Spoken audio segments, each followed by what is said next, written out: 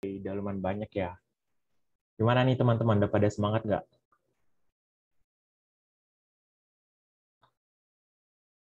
Ini suaraku terdengar kan teman-teman? Kedengeran, Kak. Oke. Kak.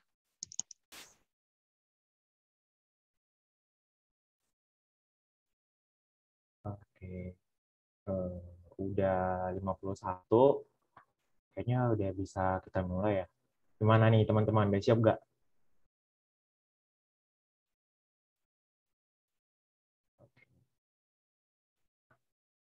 Oke, langsung aja kita mulai ya. Eh, selamat sore teman-teman. Eh, aku Gading. Uh, sini kita bakal belajar ekonomi. Eh, kita bahas SIMAK 2018. Aku harap di bahasan kali ini tuh kita bisa diskusi, karena aku rasa kalau diskusi itu kayak lebih santai nggak sih belajarnya gitu kan.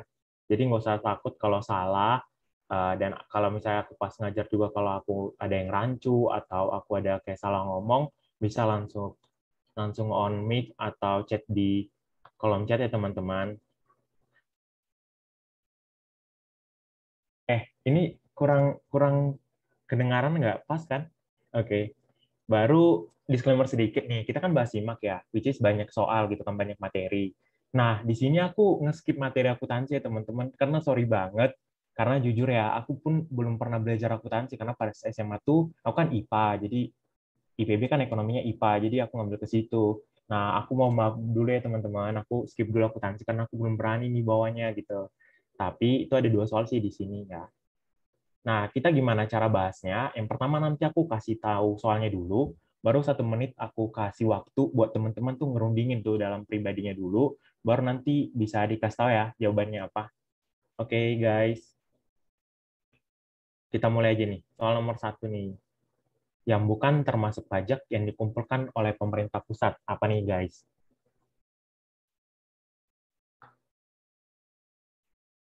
Wih, langsung cepat ya. Gercep-gercep nih. Oke. Okay. Gak usah takut salah, guys. Kalau misalnya kalian bisa jawab A, B, C, D, nggak apa-apa. Mending dihabisin jatah gagalnya sekarang. Karena pada banyak jawab E, oke. Okay. Masih ada lagi atau ada jawaban yang beda dari E, biar langsung kita kupas aja. Ini soalnya nih, emang nggak nampak ya? Tapi sebelumnya gue udah nge-share di apa sih? Discord. Ini Firda nih. Soal nomor satu. Oke.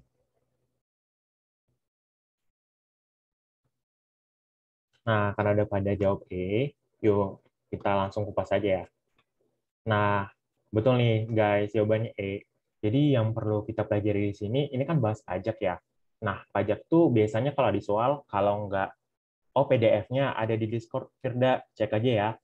Nah, kalau pajak ini kalau yang biasa dibahas tuh biasanya ya, itu kalau nggak cara jawabnya penghitungan pajak, atau nggak nih jenis-jenis pajak gitu ya. Nah, jenis-jenis pajak itu dibagi tiga. Sebenarnya dua aja sih secara besar, pusat dan juga dia daerah. Nah, kalau pusat itu, nih, kita bisa lihat di sini ya, ada pajak penghasilan, pertambahan nilai, penjualan atau sebarang mewah, bumi dan bangunan, bea perolehan hak atas tanah dan bangunan, dan juga bea materai. Nah, pajak provinsi itu ada kendaraan bermotor, bea balik nama kendaraan bermotor, ini tentang bermotor, baru pajak air permukaan, pajak rokok, pajak eh ini salah-salah. Ini pajak daerah ini masuk ke pajak kabupaten. Nah, pajak pajak daerah ini sih sebenarnya paling banyak ya. Ada hotel, restoran, hiburan, reklame, penerangan jalan, mineral bekan logam dan batuan, ada pajak air tanah, pajak sarang burung walet, pajak bumi dan bangunan pedesaan perkotaan, dan bea perolehan hak atas tanah dan bangunan. Nah, kalau kita lihat dari sini ya, di pajak pusat itu kan ada pajak bumi dan bangunan. Di daerah juga ada pajak bumi dan bangunan. Nah, apa sih yang ngebedain ya? Jadi kalau di pusat itu, pajak bumi dan bangunannya namanya PBB P3. Apa P3 itu? Yang pertama, dia perkebunan. Yang kedua, dia ada pertambangan. Dan di, yang ketiganya ini dibilang perhutanan. Nah, kalau ini daerah, yang diambil alih daerah ini, dia PBB-nya P2 gitu. P2-nya apa? Pedesaan dan perkotaan. Jadi di pusatnya diambil alih, di daerahnya juga diambil alih. Ini tuh peraturannya kurang lebih belum ada sampai lima tahun ini, jadi kayak masih perubahan yang baru. Nah, kenapa sih pajak ini dibagi gitu ya? Ada di pusat, ada di daerah. Sebenarnya ada beberapa faktor yang membuat itu dibagi. Yang pertama itu dia dari segi kepentingan dari sebuah variabel pajak ini sendiri, misalnya seperti pertambahan nilai atau perolehan hak atas tanah dan bangunan dan pajak biaya materai. Ini kan nilainya besar ya. Jadi si pusat lebih baik menangani daripada si daerah. Nah, kalau si daerah ini kan seperti hotel, restoran, hiburan, kalau misalnya diambil alih ke pusat kan banyak banget ya hotel gitu ya. Takutnya si pihak pusat nggak bisa nanganin lagi gitu. Jadi di pajak daerah ini yang lebih ke banyak lah gitu ya. Seperti hotel kan banyak ya, baru penerangan jalan juga kan kalau pusat kan nggak bisa kehitung gitu takutnya. Jadi makanya dibagi-bagi biar bagi tugas juga dan bisa membagi penerimaan juga kan karena salah satu penerimaan kita dari pajak ataupun retribusi. Kalau nomor satu ada pertanyaan nggak guys?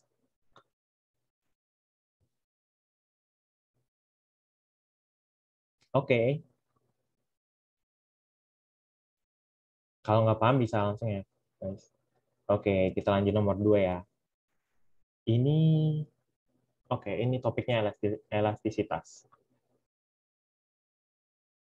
Pak Andi biasanya menjual 500 mangkok bakso dengan biayanya itu 12.000. Iya, jawabannya reklame. Hmm, ini pada cepat-cepat banget ya, gercep banget. Oke, okay, oke. Okay. D semua. Padahal saya mau menulis di sini loh.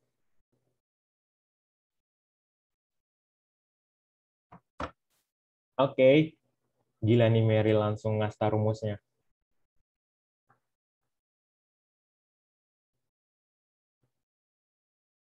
Oke, karena pada jawab D, ada masih belum paham? Oke, langsung aja ya kita bahas. Nah, ini jawabannya D, tapi aku belum nulis ini karena bisa nyoret-nyoret. Ada yang mau ngasih tahu nggak nih guys, mau ngomong nih, kenapa dia dapat D? Ada yang berani nggak nih?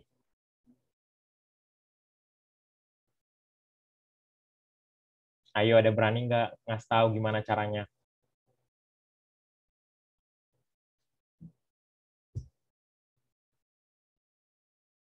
Oke, karena kayaknya nggak ada, pada malu-malu semua gitu ya. Uh, sebenarnya rumusnya elastisitas permintaan itu ya kita pakai rumus yang delta Q per delta P dikali P1 kali Q1. Nah, nanti dapat lah gitu kan. Yang pertama dia menjual 500 mangkok bakso gitu ya dengan harganya 12.000 gitu. Nah, Pak Kandi harus menaikkan harganya karena ada kenaikan harga daging dan biaya transportasi. Nah, di sini bisa kita dapat poin lagi kalau kita belajar gitu ya oh berarti kenaikan harga daging, biaya transportasi itu mempengaruhi dalam sebuah produksi.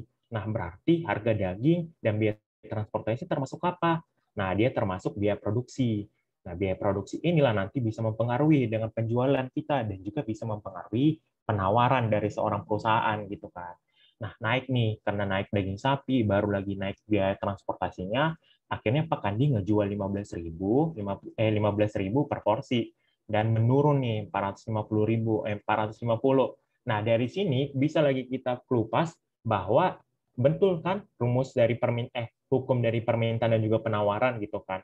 Kalau harganya naik kan permintaan bakal nurun gitu kan kecuali uh, faktor lainnya ya kan. Kalau kata paribus betul lah faktor apa hukum permintaan gitu.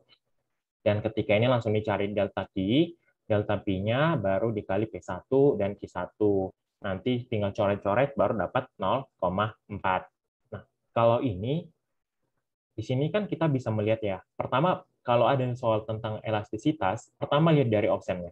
Kalau dia ada soal angka, jawabannya kita mencari angka, mau nggak mau teman-teman harus mencari pakai rumus. Nah, tapi ada aja nggak sih kalau soalnya tuh kayak dibilang eh, perusahaan Pak Andi ini masuk di koefisien mana? Apakah dia elastisitas? Eh, apakah dia elastis? apakah dia inelastis, elastis sempurna gitu kan. Kalau ada begitu, langsung cari aja tuh pakai delta Q ataupun delta P. Langsung cari delta Q-nya berapa dan delta P-nya berapa gitu kan. Kalau ada delta Q lebih besar daripada delta P, berarti dia elastis. Dan kalau ada kebalikannya, delta Q atau lebih kecil delta P, dia inelastis. Gitu teman-teman. Nah, jadi dari sini elastisitas itu luas banget dan eh, tipe-tipe soalnya itu bisa beragam banget. Tapi kalau yang sejauh ini aku lihat, yang pertama ditanyain kayak gini, baru yang kedua ditanyain dengan pilihan yang kayak elastis, inelastis, atau elastis sempurna, ataupun yang kedua dia langsung kayak contoh gitu, baru kayak contoh-contoh barangnya. Nah, kalau elastis itu kan namanya juga elastis ya gitu kan. Berarti dia nggak kaku. Nah, contoh-contoh barang elastis ini contohnya tuh barang mewah. Kenapa dibilang barang mewah? Kalau misalnya naik harga atau turun harga kalau barang mewah ya, contohnya emas gitu kan. Turun harga emas, orang-orang banyak yang berbondong-bondong kan beli emas gitu kan. Salah satunya ya bisa untuk investasi atau bisa juga untuk pamer-pamer gitu kan, naik strata sosialnya gitu. Nah, tapi kalau naik kan eh, jarang, nggak terlalu naik banget gitu kan karena untuk apa juga gitu kan coba kalau kita bilang barang inelastis gitu kan contohnya itu barang pokok gitu yang memang kita butuhin nasi gitu kalau misalnya naik harga nasi kan atau beras ya kan kita nggak mungkin langsung ngurangin makan jadi dua kali sehari yang sebelumnya tiga kali sehari gitu jadi kalau elastis itu ingat aja konsepnya elastis atau nggak kaku jadi kita melihat kekakuan dari perbandingannya kalau kita bilang elastis permintaan Berarti perbandingan antara si harga dan si quantity. Kalau misalnya elastisitas pendapatan, permintaan dengan pendapatan kita. Kalau kita bilang elastisitas silang, ini lebih ke barang pelengkap atau barang pengganti. Kalau nomor dua gimana teman-teman? Ada pertanyaan?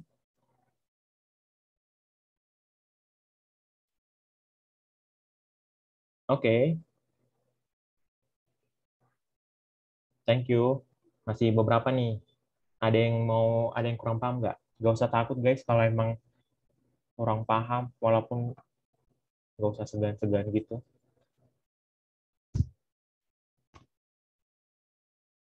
oke lanjut ya. Nih ada nih yang keempat. Dalam proses produksi kenaikan outputnya dua kali. Penambahan inputnya dua kali juga gitu kan. Ini istilahnya apa ya gitu? Oke.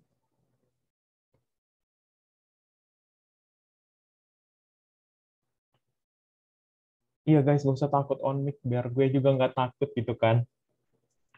Biar seru juga kelasnya.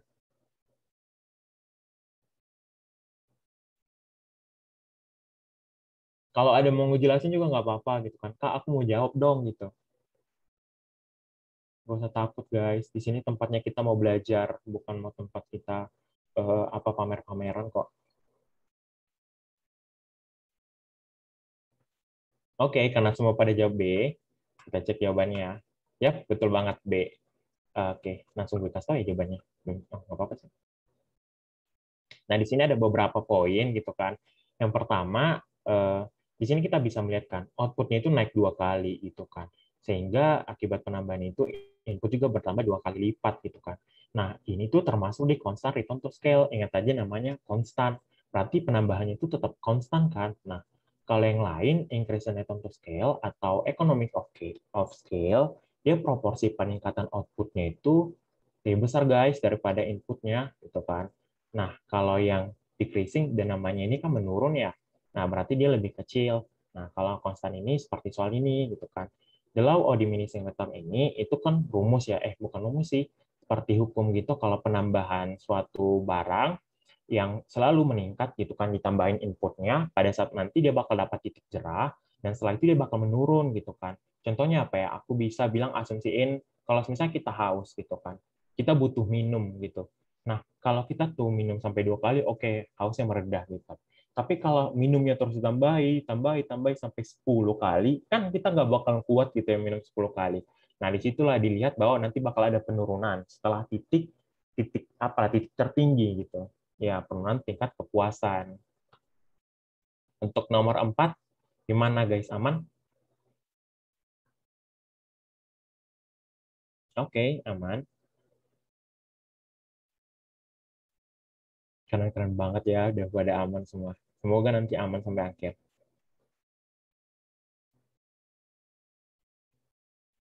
Oke, okay, next. Nomor 5.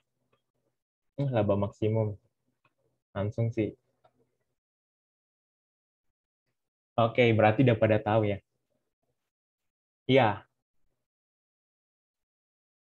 Ini tuh sebenarnya konsep yang harus teman-teman pahami banget kalau kita bicara tentang produksi uh, tentang produksi gitu ya. MR sama dengan MC gitu ya. Kalau mencari labanya TR dikurang TC. Oh ya, jawabannya E ya, teman-teman. Pada benar kok. Kenapa MR dikurang MC sama dengan 0 kan? Karena kalau kita pindahkan kan jadi MR dikurang MC. Nah, ini tuh harus teman-teman pahami banget karena pasar ini di sinilah kepuasannya. Jadi nanti berawal dari sini pakai rumus matematika sehingga kita dapat gitu. Nah, jangan ter, jangan langsung apa ya teman-teman, jangan langsung kayak oh kenapa ini kurang nih gitu kan, jangan langsung panik gitu, dipahami dulu gitu kan. Berikan ujian gitu kan. Nah, kalau ini kurva pendapatan bersinggungan dengan inference curve, Sebenarnya lebih tepatnya kalau ini lebih diganti dengan budget line sih. Budget line dengan bersinggungan dengan inference curve, berarti dia uh, situ kepuasan maksimum. Nah, itu di teori konsumen. So, kenapa ya tandanya jadi kurang? Sebenarnya aku kurang tahu sih, karena buat soal pihak UI gitu kan. Tapi kalau dibilang, kalau kita berasal dari MR sama dengan MC, kan kalau teman-teman pindahin kan jadi gini, MR kurang MC sama dengan 0.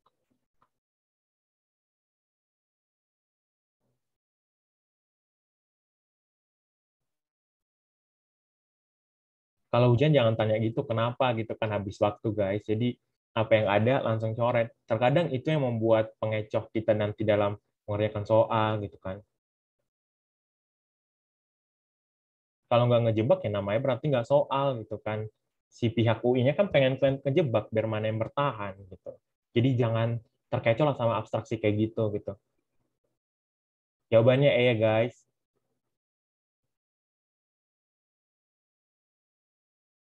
Uh, kalau TR lebih dari TIC, uh, kondisi apa ya?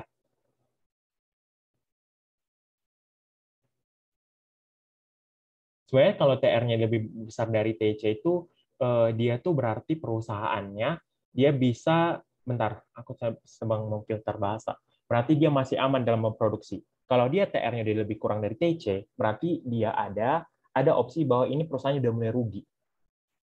Gitu ya, teman-teman intinya total revenue total yang kau dapat lebih besar dari biaya pengeluaranmu untuk menghasilkan barang itu. Berarti kan kau untung. Kalau TR-mu lebih kecil daripada TC, lebih banyak modal mau menghasilkan barang itu, padahal yang kau dapat nggak balik modal, berarti kan kau rugi gitu kan. Adalah nanti kau bisa keluar dari pasar atau berhenti sejenak. Kalau dia berhenti sejenak, berarti dia tetap membayar biaya tetap. Contohnya dia tetap bayar gedung, dia tetap bayar mesin. Kalau dia kalau udah keluar dari pasar itu, kok nggak bayar apa-apa lagi, udah memang kayak bangkrut gitu, fix bangkrut. Gitu teman-teman. Kalau TR sama TC, diambang-ambang lah, gitu nggak balik modal, enggak, tapi ya aman lah gitu balik modal, eh balik modal sih. Hmm, kon, kon, iya BEP, break even point. Kalau misalnya teman-teman tiba-tiba bingung, makanya pahami kayak jangan pahami kayak TR itu total revenue, jangan langsung stok stuck di situ gitu. Tapi pahami apa sih revenue itu gitu kan. Revenue itu penerimaan gitu kan. Cost itu pengeluaran kita gitu. Amin pada lolos semua sih ini. Kalau TR maksimum, ya berarti dia pada keadaan maksimum gitu teman-teman.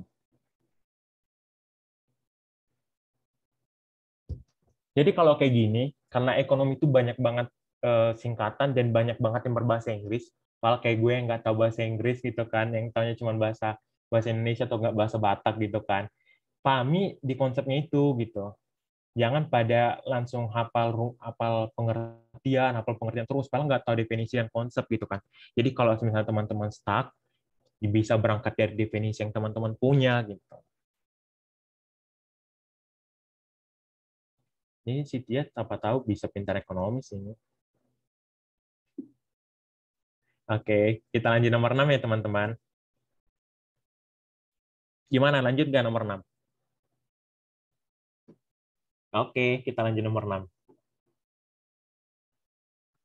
Nih, eh, sebenarnya nomor 6 itu akuntansi, tapi aku belum bawa karena aku masih takut gitu ya, masih belajar juga guys. Nomor 7 apa nih guys? Pendapatan nasional suatu negara yang besar belum berarti bahwa Ingat ya teman-teman, ini mengukur tingkat kesejahteraan masyarakat. Tingkat kesejahteraan teman-teman.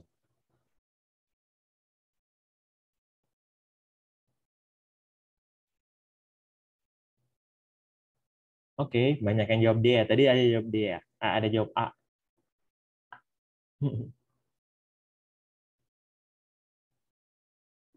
Oke. Oh, 6 amat maksudnya. Oke. Kita bahas nomor 7 juga ya, guys. Oke, nomor 7 deh ya. Gimana? Kita bahas? Udah, udah semua jawab nggak? Ini dia 74 nih. Oke, kita bahas, bahas. Oke, kita langsung buka aja ya. Nah, jawabannya D. Kepadatan, eh, oh ya, pendapatan per kapita. Nah, pertama, bentar ya, aku buat ini dulu. Pendapatan nasional suatu negara yang besar belum berarti bahwa tingkat kesejahteraan masyarakat di negara tersebut juga tinggi. Ya, itu betul banget. Contohnya itu GDP kita tuh eh, pendapatan nasional itu contohnya GDP ya teman-teman. GDP Indonesia itu kalau teman lihat dari Google, internet itu GDP Indonesia termasuk besar. Bahkan bisa dibilang top 3 lah, eh, top 5 lah ya di Asia Asia Tenggara.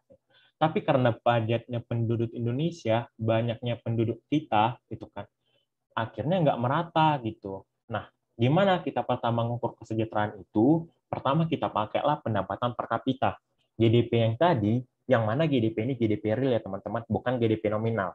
Apa bedanya GDP real sama GDP nominal? Kalau kalau GDP real ini, kita itu memang betul namanya real ya, nyata. Itu tuh mengukur tahun ini dengan ada tahun dasarnya. Kalau GDP nominal itu nggak pakai tahun dasar. Jadi kita nggak tahu berapa pertumbuhannya, gitu kan? Karena kita kan mengukur pertumbuhan. Jadi kita pakai GDP real, yang mana itu pakai perbandingan tahun dasar. Nah, habis itu kita mengukur kesejahteraan. Dipakailah GDP per kapita. Yang mana GDP bagi, kok pendapatan sih? Eh, ini jumlah penduduk. Sorry teman-teman ini jumlah penduduk gitu kan. Nah, kalau udah dapat ini, kesejahteraan itu bisa nanti dikategorikan lah, misalnya satu ini nanti bisa dapat e, berapa pendapatannya karena dibagi rata gitu kan. Tapi bisa nggak kita mengukur kemerataan dari situ? Nggak bisa gitu kan. Karena kita cuma mengukur kesejahteraan doang. Kemerataannya nggak dapat juga. Jadi kalau kita mengukur kemerataan pakai apa nih? Ada yang tahu nggak mengukur kemerataan dari pendapatan?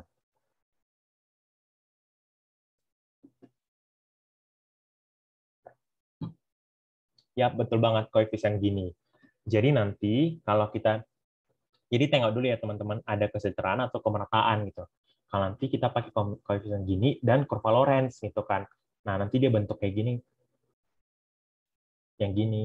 Nanti kalau dia semakin menipis, semakin meng menempel sama garis lurus ini, berarti dia makin merata tuh. Tapi kalau makin jauh, makin jauh, bahkan sampai ke sini gitu kan, berarti Oke, kita jelasin kurvanya. Bentar ya. Jadi kalau mengukur kesejahteraan itu ada dua poin. Pertama itu kita pakai koefisien gini. Uh, iya sih, garisnya kebalik tadi. Uh, kalau nggak pakai koefisien gini, kurva Lorenz gitu kan. Banyak sih kurva Lorenz ini banyak kalau teman beda buku kayak beda gambar gitu. Ada yang langsung buat bentuk kotak gitu. Nah, ada yang buat bentuk uh, gambar gini gitu. Nah, tapi intinya kalau di koefisien gini tuh ya kalau di kurva Lorenz itu dia tuh cuman misalnya ada yang buat gini kan teman-teman. Nah cuman lihat gininya doang gitu kan. Nah kalau dia semakin ini ini tuh dia dibilang eh, garis sempurna. Yang mana itu garisnya tuh kemerataan sempurna terdapat di situ. Kalau dia semakin menipis ke sini nah berarti semakin sempurna. Tapi kalau dia semakin ke sini Iya, cuman lihat kayak cuman merata atau enggak gitu kan. Makin ke sini makin ke titik ini berarti pendapatan nasional itu cuma dikuasai satu orang doang gitu kan. Cuma satu yang kaya raya di situ. Tapi kalau makin ke sini pas lah di garis ini guys garis merah ini garis sembungnya berarti dia tuh udah sempurna. Tapi ini kayak sebenarnya kejadian ekstrim gitu kan. Jarang banget negara yang pas kesempurnaan dari pendapatannya itu sama bagi rata gitu. Nggak pernah gitu kan. Jadi biasanya eh dikit aja lah ada cembungnya kalau teman lihat, kan ada garis cembung dan ada garis Bentar ya. Kan ada garis lurus sama garis cembung. Nah, jaraknya ini itulah koefisien gini.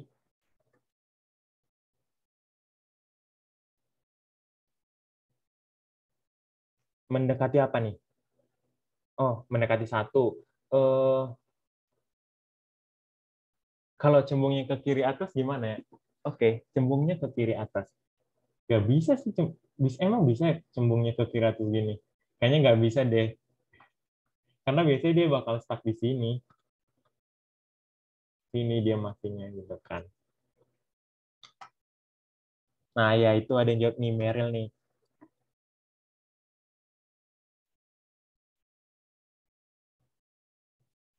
Oke, okay, thank you Meryl, Meryl Juan. Kalau dia mendekati nol, dia semakin rata. Mendekati satu, makin timpang gitu. Jadi nggak usah dipikir semua guys gitu. Lanjut ya. Oke, kita lanjut nomor 8. Ih, sebenarnya ini soalnya cuma 13 soal guys. Kalian cepet banget ya bahasnya. Nanti kita bahas soal bebas aja. Oke, nomor 8. Hmm. Ada A dan E. Pasti ini dua kubu sih, karena gue juga pas ngerjainnya kayak ada E, ada A. Oke, yang lain gimana nih?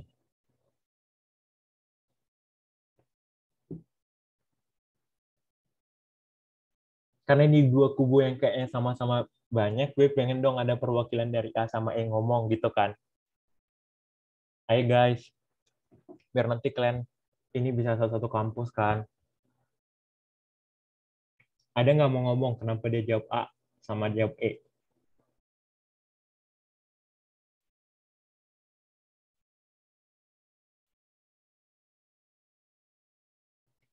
Ya, nggak asik nih, nggak ada yang ngomong. You guys, gue pengen banget loh kayak ngomong gitu, kayak ada ngomong gitu. Oke, okay, Dian nih. Gas Dian, ayo ngomong.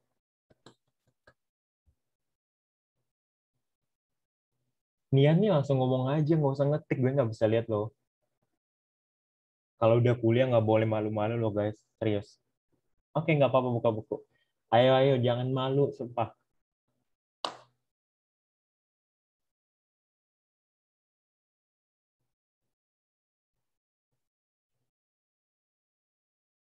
Mm -mm. Gue suka keributan. Gue tunggu nih, sumpah. Karena ini sampai 15 kan. Nggak mungkin kita cuma 20 menit doang kan.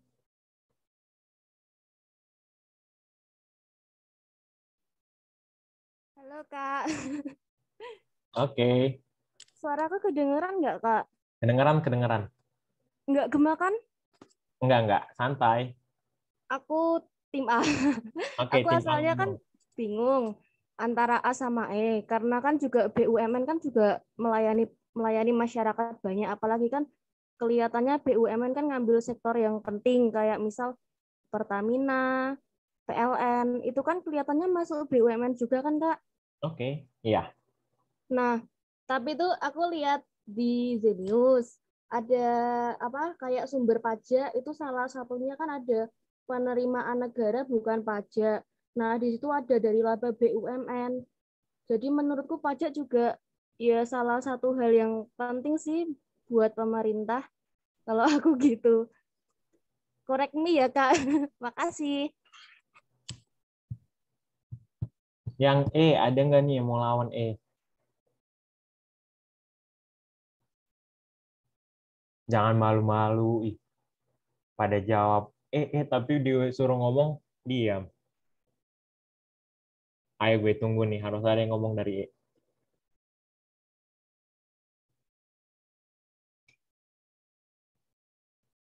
Ayo guys, kita tunggu nih dari E.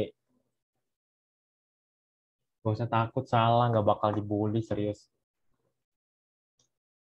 Ya elah Raihan, gue ngomong kayak orang Batak juga gak apa-apa.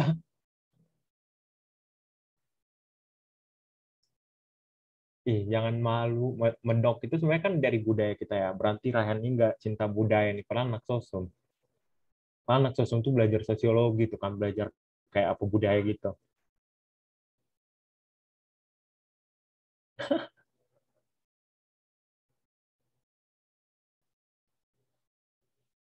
yang medok tadi tuh ayah ngomong-ngomong biar berani Ayo guys, ini E harus ada ngomong. Gue nggak mau kelasnya cuma cepet siap gini. Gue nggak mau harus rame, sumpah. Atau nggak si Ubi aja nih, dia kan dari tadi berkuar-kuar nih di chat. Kita lihat nih.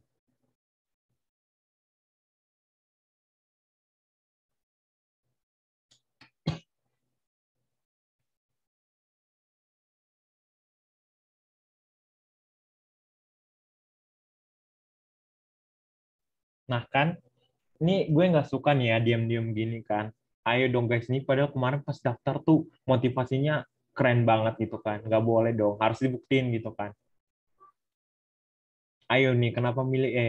Nggak apa-apa, nggak usah takut gitu kan. Kak, boleh nambahin yang A nggak, Kak? Boleh, boleh. Ya, menurut aku yang A, karena BUMN kan eh, awalnya tuh isinya perusahaan-perusahaan gitu. Nah, perusahaan itu masuk ke BUMN. Perusahaan itu pasti menghasilkan pajak kan. Nah, pajak itu kan ditarik untuk pemerintah. Nah, jadi ya masuk masuk pasal nomor 8 itu. Gitu kan. Maaf ya, aku salah. Ayo nih guys, udah ngomong nih pimpinannya. Skor saja nggak ngomong. Kak mau memperkuat lagi. Nggak apa-apa, perkuat terus. Tadi setelah ada perbincangan itu mikir lagi. Benar kalau semisal pajaknya semakin banyak kan, eh, misal kayak pembangunan jembatan lah, pembangunan sekolah yang kayak butuh dana pemerintah kan jadi semakin lancar jaya gitu kak, karena biayanya ada. Mungkin nggak sih kak kayak gitu? Mungkin kok betul, Pak, betul.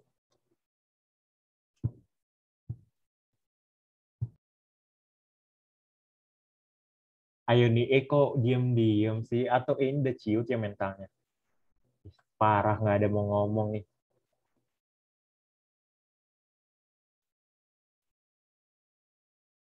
Yaudah deh aku mau ngomong yang E ya. Oke. Tapi kalau menurut aku, kan dari definisi BUMN, BUMN itu fungsi utama dia kan berorientasi pada pelayanan masyarakat ya Kak. Nah, kenapa harus didanain banget, butuh anggaran yang besar? Karena itu alat vital gitu loh Kak. Kalau misalnya nggak dilindungin secara serius, kan bakal dampak besar, dampak buruknya besar gitu. Nah, nanti jadinya tuh pendapatan negara tuh juga hilang gitu loh Kak. Menurut aku, jawabannya E. Oke. Gue mau nanya nih. Kalau penerimaan negara itu emang untuk apa sih? Contohnya penerimaan negara, contohnya pajak kayak tadi. Emang tujuannya untuk apa penerimaan negara? Untuk pembangunan gitu. Pembangunan, Untuk pembangunan. untuk Masih sejahtera ke rakyat. ya udah gitu kan. Nah, gue mikirnya di situ. Kenapa? Kalau semisalnya gini ya, BUMN, gue jawab kalau dari gue teman-teman, gue itu jawab A. Kenapa yang pertama, gue langsung ngefokus lihat di sini menggunakan anggaran negara. Pemerintah itu nggak sebodoh itu membuat sebuah perusahaan hanya untuk kepentingan umum. Dia juga bakal mikirin gimana biar perusahaannya juga berhasil. Karena mau nggak mau, BUMN itu juga bakal masuk ke dalam circle ekonomi gitu. Dia nggak ada kekhususan gitu kan.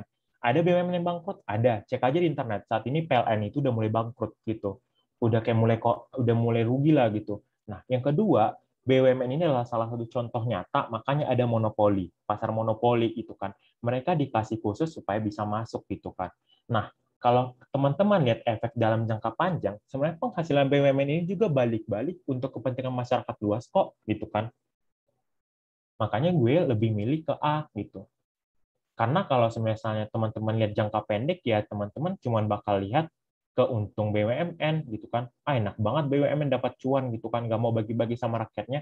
Padahal untung ini nanti bakal dikelola oleh pemerintah, dimasukkan dalam penghitungan ekonomis yang besar banget kan, dan ujung-ujungnya nanti dia bakal mengalir ya membangun lah seperti dana bos contohnya kalau di sekolah ngebangun jalan atau ngebangun eh, pembangunan masyarakat gitu.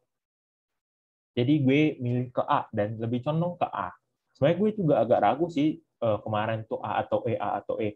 Tapi kalau gue mikirnya lebih ke jangka panjang, kayaknya A lebih masuk akal sih.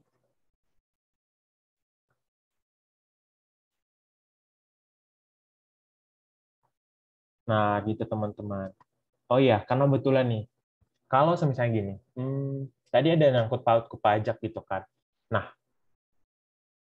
kalau pajak naik, pertumbuhan eh, kalau pajak naik, eh, GDP GDP pendapatan nasional Indonesia naik nggak? Ayo guys, ada mau bah- bahas nggak?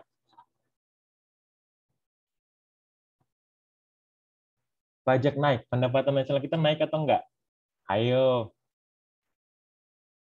Ingat ya, nak, guys, pendapatan nasional itu rumusnya apa? Biasanya dipakai apa? Pajak, teman-teman. Pajak naik.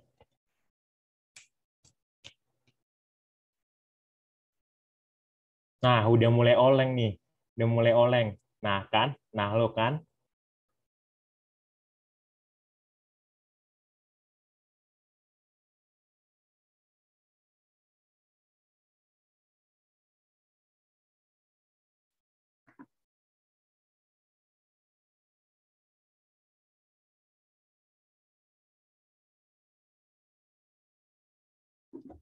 Kalau pajak kita naik, si pemerintah ningkatin pajak gitu kan.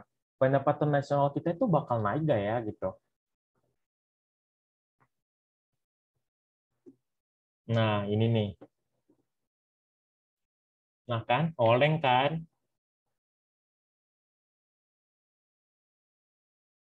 Jadi gimana nih, naik atau turun? Di, dibuat lagi di kolom chatnya. Pastinya mana yang fixnya?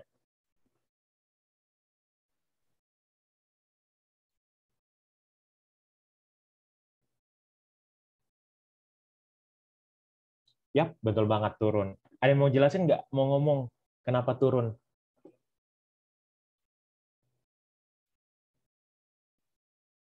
Hmm, nggak sampai pakai rumus minus MPC per MPS lagi nih. Ada yang mau jelasin nggak nih guys? Kenapa turun? Pernah dengar keseimbangan pendapatan tiga sektor nggak? Atau dua sektor? Oke, nah kenapa kita bilang sebenarnya kalau pertama kita mikir kayak nggak masuk akal sih gitu kan? Lah pajak kan untuk negara, pendapatan nasionalnya kok turun gitu kan? Nah rumus pendapatan nasional itu singkatnya lihat aja dari rumus GDP dari sisi pengeluaran, yaitu CIX ya, C tambah I tambah G tambah XN gitu kan. Nah kalau kita lihat keseimbang inilah dari sini aja berangkatnya gitu kan keseimbangan pendapatan tiga sektor misalkan Y, C, tambah I gitu kan. Nah, gini teman-teman, logikanya gini, kalau pajak itu dinaikin, konsumsi masyarakat itu bakal mengurang gitu kan. Pengeluarannya bakal dikonsumsi ini bakal menurun gitu. Nah, kalau menurun, kelesuan ekonomi yang terjadi. Nah, kalau kelesuan ekonomi berarti apa? Nanti negaranya kalau kelebihan bisa jadi deflasi gitu. Nah, selebihnya kalau teman-teman nambahkan, kalau si pemerintah nambahkan government expenditure atau pengeluaran pemerintah, contohnya pengeluaran pemerintah itu kita ngebangun jalan, kita ngebangun rumah sakit, atau let's see, ngebangun jalan lah contoh kecilnya gitu kan. Nah, bisa bisa mempercepat perekonomian dan akhirnya bisa dapatlah banyak uang lagi si, masyarakatnya itu bakal bisa berekonomi dengan baik gitu. Jadi perhatian pertama teman-teman kalau dibilang pendapatan negara itu dari semua masyarakat gitu loh. Masyarakat ini yang diutamakan gitu. Jadi jangan langsung lihat pajak masuk ke dompet pemerintah, ih berarti pendapatannya naik gitu. Kalau pajak ini naikin naikin terus pada rakyat yang miskin kan mis, masyarakatnya jadi apa gitu kan, makan apa gitu. Jadi kalau kalau gue bawa lagi nih, gue mau nanya lagi nih. Kalau misalnya negara inflasi, kalau misalnya negara kita terjadi inflasi, berarti yang pemerintah lakuin naikin pajak kah atau nurunin pajak?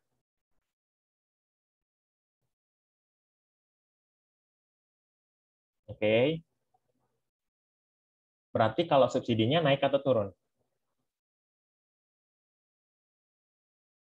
Oke, berarti itu kebijakan apa kalau inflasi? Oke, kontraktif. Bukan maksudnya kontraktif atau ekspansif gitu, teman-teman. Iya, kebijakan fiskal. Tadi aku mau pengen bawanya kontraktif. Oke, jadi lihat ke situ ya. Gitu. Teman-teman bisa pelajari namanya babnya biasanya permintaan agregat gitu ya. Jadi kalau permintaan agregat itu yang mempengaruhi sebenarnya hampir sama dengan GDP dari segi pengeluaran dari CIX ini. Tapi diasumsikan biasanya kalau G ini uh, konstan gitu. Jadi sebenarnya ekonomi ini kalau misalnya kita pilah gitu ya, cuma dua bidang aja kecuali akuntansi ya ada ekonomi mikro sama ekonomi makro gitu kalau oh kalau yang dua sektor ini C tambah ini baru nanti ada G-nya gitu.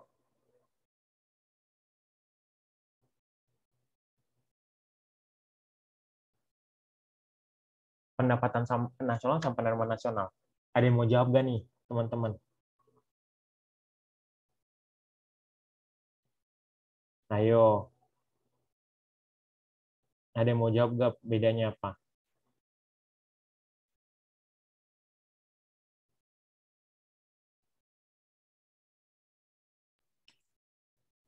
Aku Kak. Oke. Bosan nggak sih Kak aku lagi? Kalau kalau dari sumberku kan dari Zenius ya.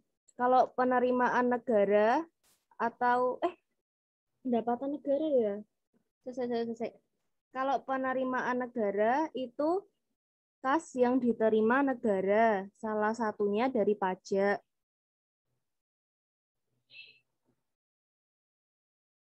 Gimana gimana tadi? Itu kalau penerimaan. Kalau penerima oleh seluruh masyarakat gitu.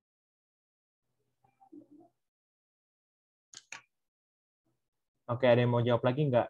Sama aja nih, kenapa sama? Kalau dari aku sama, soalnya kalau sumber-sumber pendapatan negara, ya penerimaan negara. Salah satunya penerimaan dalam negeri atau penerimaan bukan pajak, seperti itu teman-teman. Sama aja sih.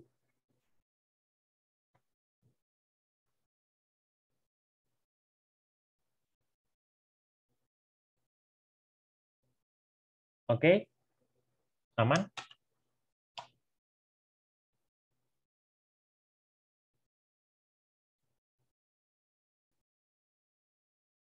Pendapatan nasional, baru ada penerimaan negara, baru itu yang beda. Kayak sumber-sumber penerimaan negara, sumber penerimaan non-pajak gitu kan. Jadi sampai mana sih? Oke. Oh, nomor oh nomor 8 sih? A, jawabannya A, nomor 8. Nah, jadi aku terusin lagi ya. Jadi kalau kita belajar ekonomi itu, sebenarnya ada dua hal besar yang perlu teman-teman ketahui bersama gitu ya.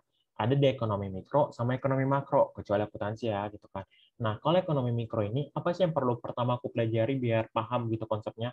Pahami dulu pertama konsep permintaan dan penawaran.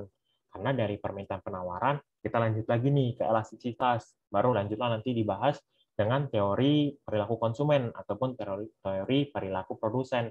Kalau di ekonomi makro, yaitu pertama sebenarnya singkatnya bisa dibilang uh, di permintaan dan uh, penawaran agregat secara agregat atau satu negara. Nah dari situ kita bahas nanti di inflasi kah dia atau deflasi kah, dan dari situ kita bahas lagi apa nih yang mau kita lakuin kebijakannya, baik dari segi fiskal maupun dari moneter. Nah nanti mengakar lah nanti semua itu. Gitu ya teman-teman. Jadi nomor 8A itu. Nah, nomor 9 nih. Notasi B di sini apa? Notasi B, teman-teman, bukan notasi 1,1 kurang B. Ayo, notasi B. Jangan oleng lagi. Nah, kan?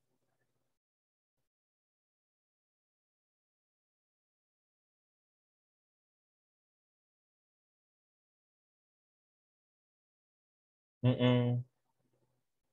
Oke, okay.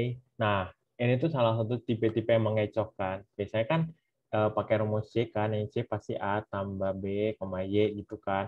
Nah, B-nya inilah MPC. Kalau kita ubah ke MPS kan nanti dia bakal begini. Gitu. Jadi jangan karena lihat ini S, berarti di sini MPS, langsung klik MPS. Padahal yang ditanya dia di B.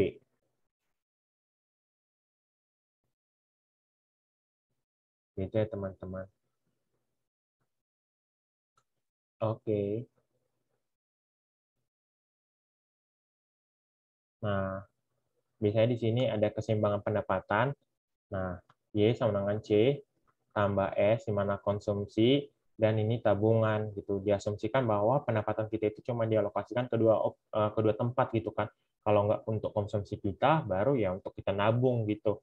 Baru kalau di ini rumus kalau C sama dengan A tambah B ini rumus apa konsumsi baru ini rumus uh, tabungannya kan. Baru kalau ini dibalikkan gitu kan, berarti tabungan kita itu pendapatan dikurang konsumsi. Rumus MPC-nya dari mana nih? MPC ini ini marginal propensity to consume gitu. Nah, APC-nya apa? C dibagi Y gitu. A itu apa? A itu pendapatan kita pada saat eh konsumsi kita pada saat pendapatan nol gitu. Gitu ya teman-teman. Gimana? Aman nggak di nomor 9? Hmm, cek aja fungsi konsumsi dan fungsi tabungan.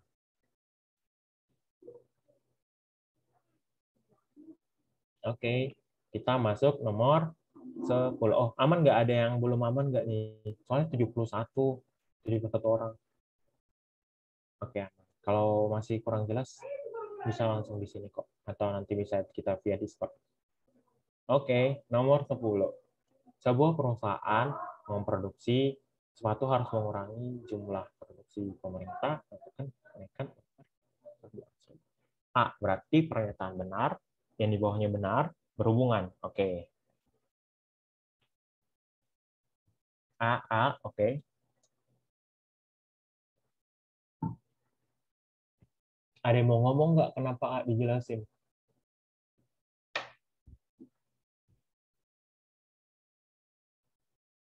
Ayo, ada yang mau ngomong nggak gimana dia kenapa bisa dapat A?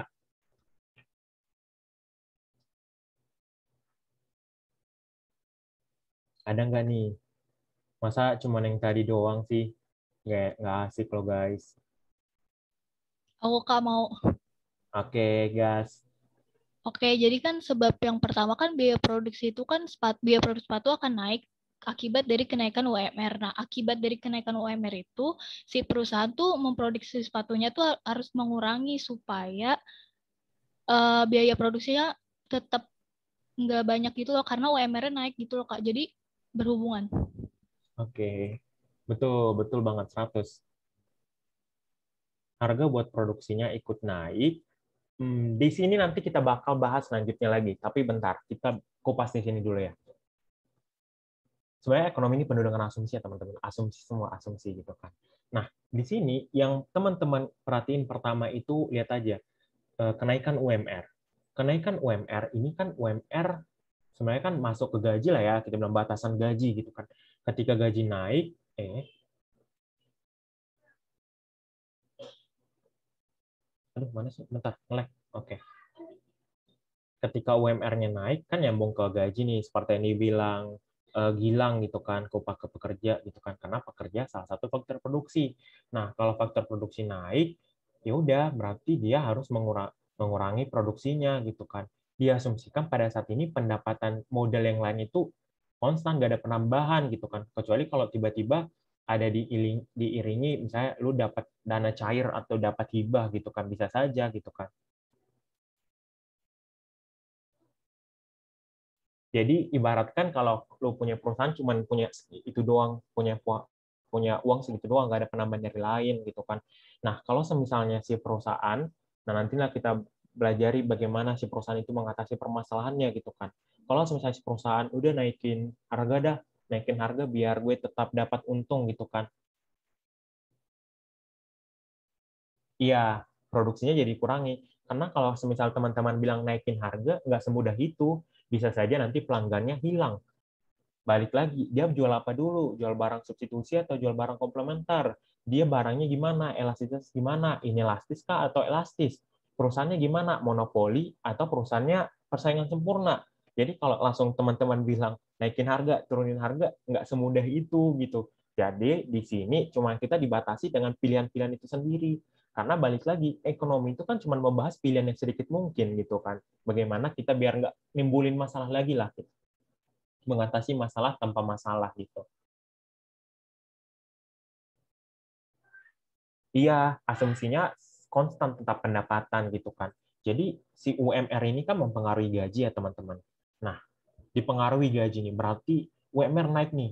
Lu punya perusahaan contohnya ya, UMR naik. Biasanya kan buruh sering demo kan. Nah, akhirnya mau nggak mau si perusahaan ini naikin gaji gitu kan. Kalau naikin gaji pendapatan lu yang sebenarnya itu normal, konstan, berarti dia tetap gitu kan harus mengurangi yang lain akhirnya dikurangi lebih produksinya gitu kan kalau perusahaan mengurangi jumlah pekerja karena UMR naik jahat gak sih ya jahat dong gitu kan Nah, inilah yang dibilang efek dari kelemahan ekonomi sekarang gitu loh. Nah, sekarang kan kondisi apalagi masa pandemi dulu-dulu ya, yang kuartal 4 2020, Indonesia yang diumumin masuk deflasi gitu kan. Uh, nomor 9 dia teman-teman. Nah, yang tadi si Ciadian jahat gak ya? Jahat gitu kan. Tapi ada saja di titik tersebut, inilah keputusan yang terbaik biar tetap perusahaannya itu mau jalan gitu loh. Contohnya aku bilang deflasi, kelesuan ekonomi. Banyak orang nggak mau lagi belanja gitu kan karena pandemi nggak boleh keluar keluar gitu kan. Makanya sampai Indonesia masuk deflasi gitu kan. Si perusahaannya nggak dapat pendapatan lagi gitu kan. Mau ditetap gaji orang tersebut gitu kan mau tetap gaji tenaga kerjanya kan enggak gitu kan. Jadi bisa saja di satu titik ya daripada perusahaan gue hancur ya di PHK gitu. Jahat sih gitu kan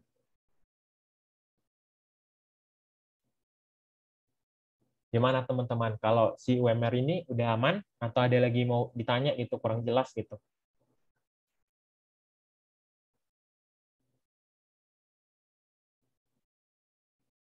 Sebenarnya kalau dibilang pemikiran awam ya udah naikin aja harganya gitu kan. Tapi kalau kita udah naikin harga nggak semudah itu gitu kan. Prioritas perusahaannya gimana? Perusahaannya jenisnya gimana gitu kan. Oke kalau perusahaan monopoli, eh monopoli bisa juga rugi gitu kan.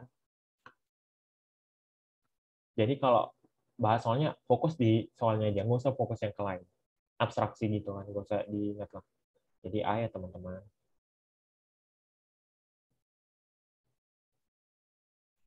Nomor 11. Sebenarnya nomor 11 sudah pernah dibahas di kali ya, ya kan? Saat terjadi inflasi yang tinggi, masyarakat akan menurunkan jumlah konsumsi hariannya. Sebab inflasi menyebabkan pendapatan real masyarakat menurun. Ayo, apa nih?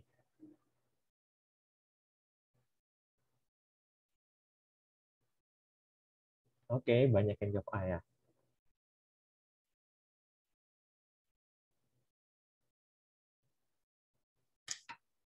Oke, ada A, ada C.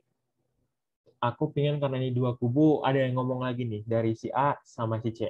Tapi aku pengen dari si C dulu nih, karena si C asal ngasih tahu jawabannya pasti pakai titik koma C ya, gitu kan eh pakai tanda tanya gitu.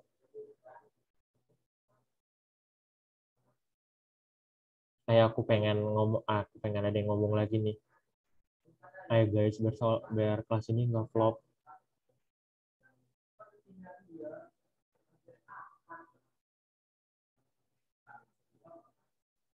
Ayo ada yang mau ngomong nggak? Mau dari A, mau dari C, nggak apa-apa.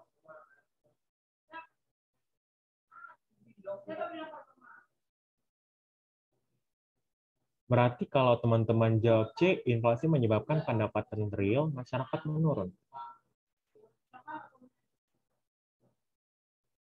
Ingat ya teman-teman, menyebabkan gitu kan. Berarti ini kejadiannya setelah gitu.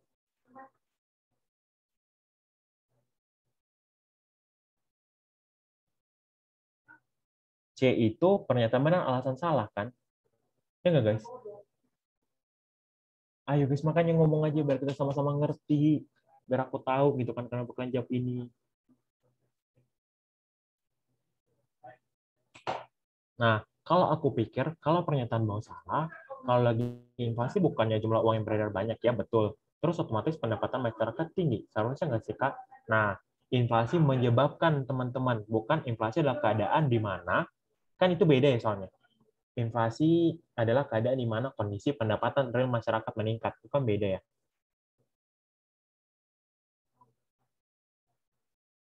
Nah, makanya, ayo nih, aku pengen ngomong lah gitu kan. Pendapatan real itu ya pendapatan nyata lu gitu loh. Pendapatan yang bisa lu perbelanjain. Nah, gitu.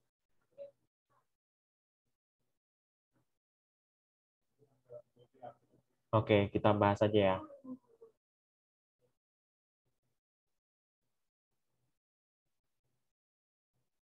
Gini teman-teman, pertama pelajari dulu konsep ini. Pendapatan real sama pendapatan nominal. Ini jangan sampai terkecoh.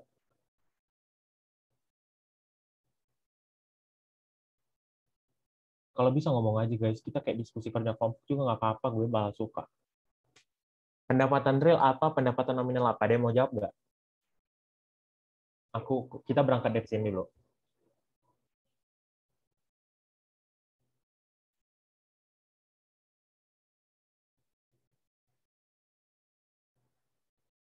pendapatan real masyarakat ya teman-teman, bukan sebuah negara. Ayo, ada yang jawab nggak? Ada yang mau jawab nggak nih? Kalau pendapatan real itu pendapatan yang pakai tahun dasar kan kak? Eh, bukan pendapatan negara, tapi pendapatan masyarakat.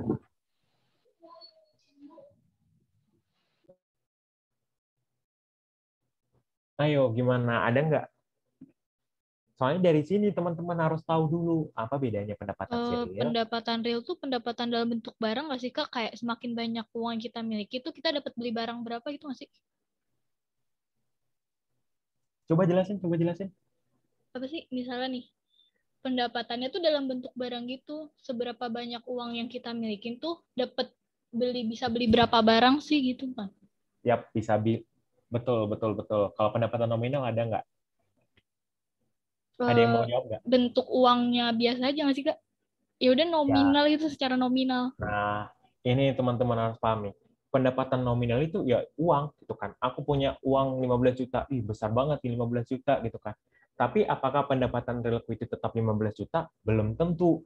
15 juta ini sedimana sanggup lu untuk membeli barang-barang gitu kan. Contohnya, 15 juta misalnya aku besaran, aku kecilin. Kita punya pendapatan 2000 gitu kan. Pendapatan nominal 2000. Nah, dibilang pendapatan realnya. Dulu aku bisa bayar 2000 itu bisa beli bembeng satu, bisa beli better satu gitu kan. Dulu pendapatan realku bisa dibelanjakan untuk dua barang gitu kan. Padahal tahun depannya dengan uang 2000 doang, aku cuma bisa beli better doang gitu. Berarti pendapatan realku itu menurun gitu loh teman-teman. Nah, inflasi menyebabkan pendapatan real masyarakat menurun. Nah, ini tuh benar. Kenapa? Ya, inflasi itu jumlah uang beredar meningkat pada beberapa tingkat, inflasi itu menyebabkan bahwa ekonomi sedang bersaing ketat. Kan ada tingkatan inflasi ya. Dalam tingkat yang rendah atau tingkat yang masih normal, inflasi menunjukkan bahwa ekonomi itu lagi berlomba-lomba. Kalau berlomba-lomba lagi bersaing, lagi menunjukkan masing-masing teknologi yang makin canggih gitu loh. Nah, kalau semakin tinggi, semakin tinggi, harganya makin tinggi, sampai melewati batas bahwa kemampuan dari masyarakat itu, karena saking banyaknya gitu ya, saking banyaknya permintaan gitu loh. Akhirnya harga-harga pun nggak bisa dijangkau lagi kayak dulu hyper apa super inflasi ya pada masa Pak Soeharto sampai Pak Soehartonya lengser gitu kan. Nah itu tuh si masyarakat tuh nggak bisa lagi beli banyak walaupun dia punya uangnya banyak banget uangnya banyak nominalnya tuh banyak tapi realnya tuh nggak bisa dibelanjain apa-apa gitu kan cuman sebatas beli telur sepapan atau cuman sebatas beli indomie gitu kan nah makanya inflasi itu menyebabkan bukan pada saat kondisi gitu kan bedakan inflasi menyebabkan sama kalau soalnya inflasi di mana kondisi bla bla bla. Itu itu beda ya teman-teman. Nah, kita cek yang di atas, saat terjadi inflasi yang tinggi, masyarakat akan menurunkan jumlah konsumsi hariannya. Betul, karena inflasi udah tinggi, udah nggak bisa disanggupi dengan pendapatan nominalnya tadi, gitu kan. Mau nggak mau, dia menurunkan konsumsinya, ya biar bisa berhemat lah, gitu kan. Istilahnya gini, saking banyaknya uang tuh kayak uang tuh nggak udah udah nggak diterima lagi, udah kayak murahan gitu loh kayak nggak ada gunanya lagi tuh. Nah, gitu. Gimana masih masih ada nggak masih pada pada ada masih kurang ngerti gitu?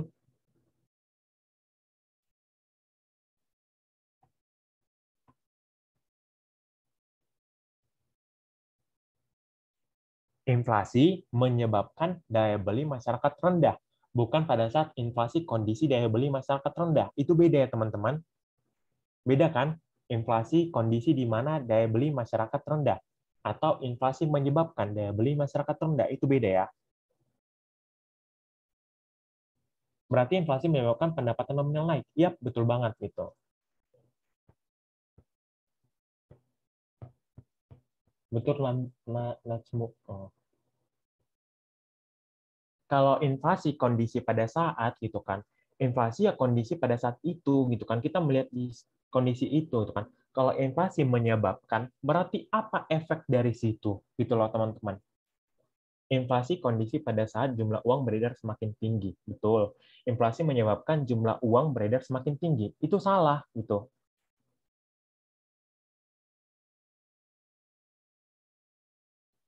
Daya beli masyarakat rendah berarti dampak dari inflasi. Tapi kalau kondisi saat inflasi daya beli masyarakat tinggi. Eh, inflasi adalah kondisi di mana jumlah uang beredar tinggi, pendapatan nominal tinggi, sehingga inflasi menyebabkan pendapatan realnya menurun dan daya belinya menurun gitu. Jadi kalau inflasi menyebabkan berarti efek dari inflasi itu apa gitu loh. Inflasi kondisi pada saat berarti ya apa kondisinya inflasi itu gitu. Pendapatan real dipengaruhi inflasi iya atau pendapatan nominal tidak dipengaruhi inflasi enggak karena pendapatan nominal ya fisiknya itu loh berapa banyak yang lu dapat gitu loh nggak ada pengaruhnya gitu jadi pertama bedakan itu ya teman-teman. Kalau sebab kan kita melihat efek gitu kan, melihat apa hasil yang disebabkan dari suatu kondisi ini gitu. Jadi jangan teman-teman ngira inflasi itu jumlah beredar tinggi, berarti daya belinya tinggi gitu kan. Jadi itu salah satu yang bisa mengkecoh kita juga gitu. Jadi gimana? Udah aman nggak guys? Kak berarti beda pendapatan real nominal individu itu sebenarnya beda. Eh, ya kalau individu berarti ya lu melihat bagaimana kesanggupan pendapatan lu dengan membelajahi barang-barang gitu. Kalau pendapatan kalau pendapatan negara ya bagaimana kita melihat perkembangan pertumbuhan ekonomi gitu loh. Dilihat dari si keseimbangan tadi itu yang y sama dengan c tambah i gitu. Ya beda loh nominal sama negara gitu kan. Kalau nominal ya lu sendiri kalau eh individu sama negara gitu kan. Pasti udah beda banget gitu kalau deflasi, deflasi pendapatan realnya, sebenarnya deflasi ini kelangsungan ekonomi, teman-teman. Nah, si ini lebih ke pen, apa ya? Gimana ya aku ngebilanginnya? Eh, pendapatan menyebabkan ya gitu ya. Kalau deflasi menyebabkan sebenarnya ini bukan ke pendapatan real, tapi lebih ke bentar. Deflasi ini kan kelangsungan ekonomi ya. Nah, kelangsungan ekonomi ini ketika pendapatan negara itu lebih kecil pada saat pendapatan yang bisa dihasilkan secara maksimum gitu loh. Jadi di sini si masyarakat ini kita nggak bisa langsung lihat ke pendapatan realnya ya teman-teman, tapi lebih ke dia malas berbelanja gitu loh, lesu ekonomi gitu. Jadi nggak bisa kita bilang pendapatannya naik atau turun gitu. Bisa saja malas karena ada hal lain, contohnya kayak COVID gitu, nggak bisa keluar rumah gitu.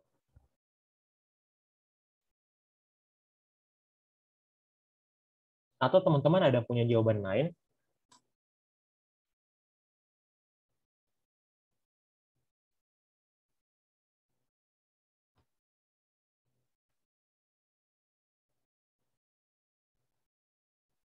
Atau udah aman? Gimana nih bisa jawab di kolom chat, guys?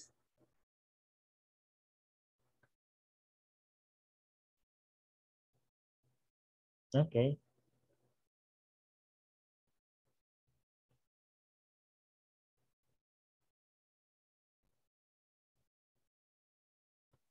Kalau aku bisa bahas permintaan agregat gitu ya. Nah, kurva permintaan agregat biar bisa lebih paham lagi gitu kan. Nah, eh, sebenarnya kurva permintaan dan penawaran agregat itu sama aja gini. Nanti dia bakal begini. Aku um, sambil-sambil sedikit lah gitu kan. Nah, eh jelek banget serius. Ini teman-teman. Nah, seperti nanti kalau teman-teman belajar permintaan atau penawaran agregat. Di sini nanti ada LRAS, di sini nanti ada ini kurva SRAS, di sini ada kurva AD. Apa AD? Aggregate demand. Nah, SRAS ini short run aggregate supply. Ini long run aggregate supply. Nah, ketika ini bergeser, nah ini kan ada, ini sebenarnya ibaratkanlah ini nyatu ya. Nah, kalau dia bisa keadaan inflasi, dia di sini gitu loh, melebihi. Kalau dia deflasi di sini gitu. Tapi kayaknya SMA belum belajar itu, jadi kayak kecepatan. Oke, ini tadi A. Nah, lihat nomor 12.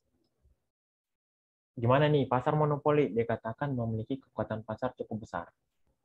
Sebab kurva permintaan yang dihadapi produsen monopoli memiliki kemiringan negatif dan cenderung inelastis.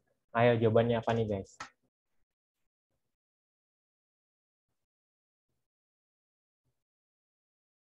Kalau udah pasar-pasar lumayan susah sih. Oke, dia ada jawab D. Uh, 11A, teman-teman ya. Dia berhubungan. Nomor 12 pada jawab A ya. Hmm, Oke. Okay.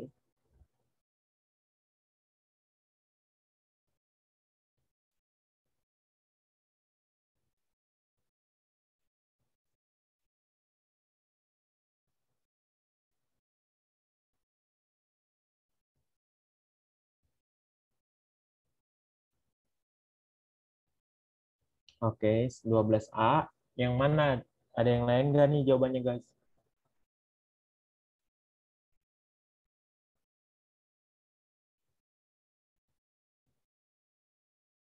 Ayo pada A nggak? Atau kalau kurang ngerti, bisa bilang kurang ngerti. Aku B deh, Kak. Oke, B berarti nggak berhubungan. Oke, ada B.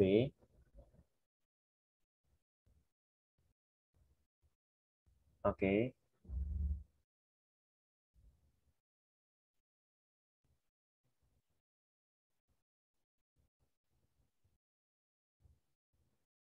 Oke, karena B, udah gimana? Kita bahas gak nih jawabannya? Oke, bahas, bahas. Oke, bahas ya. Jawabannya itu adalah dia C. Kenapa? Gitu kan. Wah, kenapa nih? Kenapa gitu kan? Bentar ya, aku geser-geser dulu. Monopoli punya kekuatan pasar yang besar. Betul banget kan, gitu kan. Nah, kurva monopoli kemungkinan negatif benar kalau dia cenderung inelastis ini salah gitu kan. Monopolis itu ingat monopolis ya berarti dia pelaku pelaku perusahaan monopoli gitu kan. Nah itu satu-satunya penjual. Ingat saya satu-satunya penjual. Sehingga ia menghadapi kurva permintaan pasar untuk menjual Q yang lebih besar harus mengurangi P karena dia langsung ketemu sama si pasar ini kurva permintaan pasar berarti seorang monopolis ini nggak bakal mau dia apa berada di pasar inelastis Gitu, teman-teman. Karena dia dapat meningkatkan pendapatan dengan cara meninggikan harga. Iya, dia di elastis. Karena dia tuh langsung ketemu sama barang-barang, langsung ketemu sama si pasar loh, teman-teman gitu. Gimana yang ngejelasinnya? Kalau si kurva monopoli ini kan kurvanya kan gini ya, kayak kurva biasa gitu kan. Beda kalau si Yana eh, pasar persaingan sempurna berbentuk lurus seperti ini gitu. Kenapa seperti itu? Karena pertama dia monopoli ini, ya monopoli price maker. Sedangkan pasar persaingan sempurna, si pasarnya price, uh, price taker, pengikut harga. Karena karena satunya dia penjual. Ini penjual gitu kan. Nah, banyak yang dijualnya, banyak pembeli, banyak pembelinya. Berarti dia langsung melihat sama pembelinya gitu kan. Padahal kalau kita bandingkan sama pasar perusahaan sempurna, dia kan banyak apa ya? Banyak banyak penjual gitu kan, banyak penjual sama-sama punya kekuatan yang sama, sama-sama punya uh, apa? punya akses yang bisa masuk ke situ, sama-sama kuat lah gitu. Akhirnya dengan kita menambahkan pendapatan, naik lagi nanti pending apa kan lawan kita gitu kan. Jadi kalau dia di monopoli, karena dia langsung ketemu sama pasar itu sendiri, dan ia menghadapi kurva permintaan pasar, ingat aja permintaan pasar berarti ya udah seperti elastis gitu loh. Seperti ini gitu. Eh, iya gitu.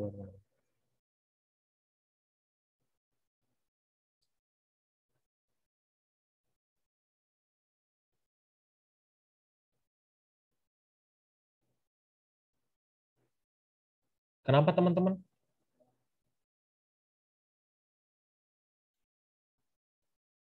Tapi aku cari beberapa sih dia jawab elastis.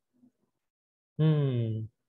Atau ini kita keep dulu ya. Nanti kalau malam bisa lah bahas atau nanti kita buka Discord. Kemungkinan negatif ya uh, apa sih gimana ya? Gradiennya itu negatif teman-teman. Kak, aku mau nanya. Oke. Okay. Uh, kan kalau misalnya yang pernyataan dua, aku pikir kan itu dia uh, inelastis kan, karena hmm. pasar monopoli itu kan barang yang dihasilkan itu unik kayak satu-satunya gitu. Jadi nggak mungkin juga kalau misalnya barang elastis kan kayak barang mewah, uh, iya kan barang mewah. Peka kan dia terhadap harga, kalau misalnya harga naik, permintaan itu bakalan turun.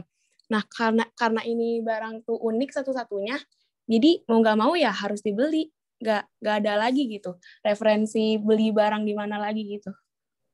Nah, tapi kan di satu sisi monopoli ini bisa rugi loh. Tapi aku juga nggak bisa membilang aku ini benar banget ya teman-teman. Di sini makanya kita perlu diskusi gitu ya. Nah, kalau aku yang kubaca juga, aku dapat uh, dari berbagai sumber juga ya teman-teman. Aku tuh melihat bahwa karena dia menghadapi sebuah pasar gitu ya, sehingga semua orang monopolis itu nggak bakal mau dia di bagian elastis gitu dari permintaannya karena dia tuh bisa meningkatkan pendapatan dengan cara meninggikan harga. Nah, kalau dia di elastis dengan kita meninggikan harga, itu berarti penerimaan TR-nya dia bakal menurun. Iya nggak sih? Iya. Kamu nanya, Kak. Oh iya masuk masuk.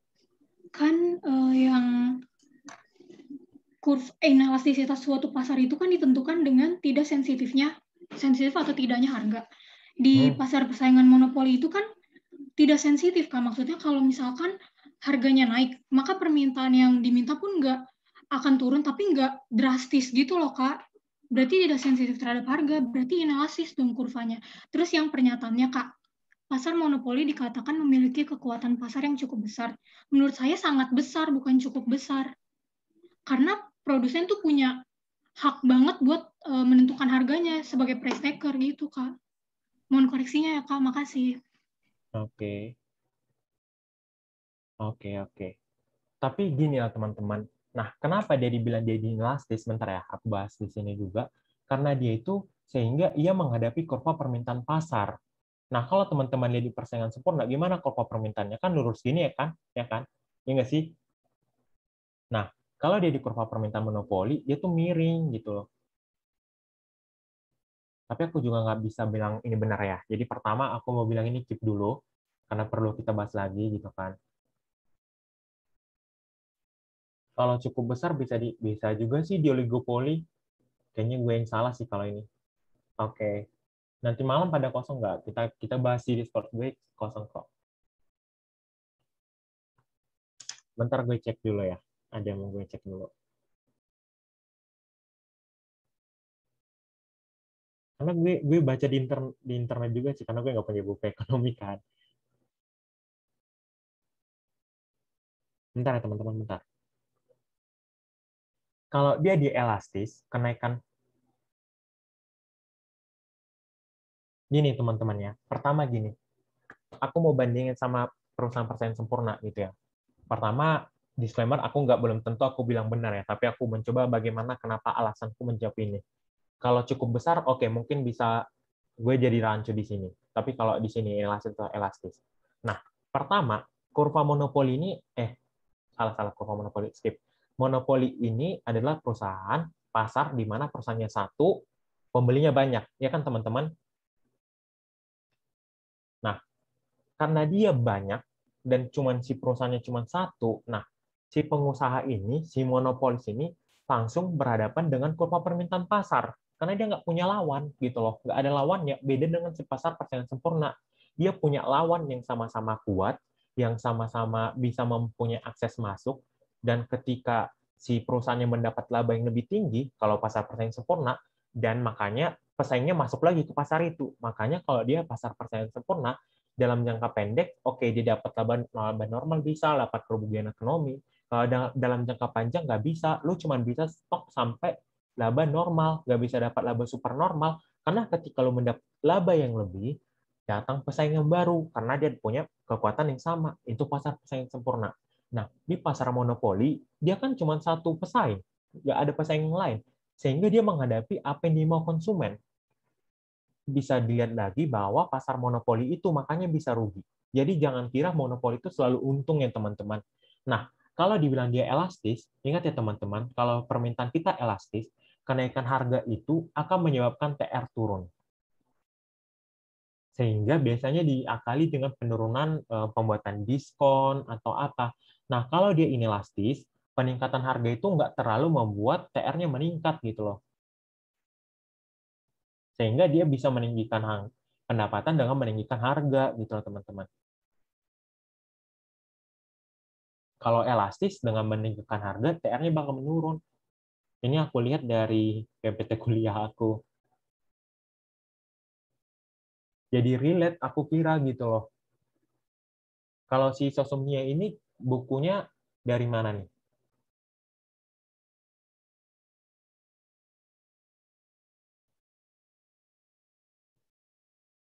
Uh, lanjut lagi ya, kalau aku perlu baca, di PPT kuliah aku tuh dibuat gini.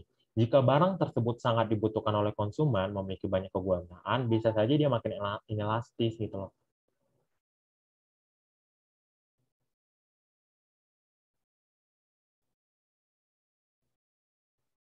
Oke. Berarti ini kita keep dulu ya teman-teman. Karena aku juga nggak bisa ngebilang aku benar banget kan, nggak mungkin aku bilang. Boleh, boleh Dian, boleh banget. Ini kan ruang diskusi.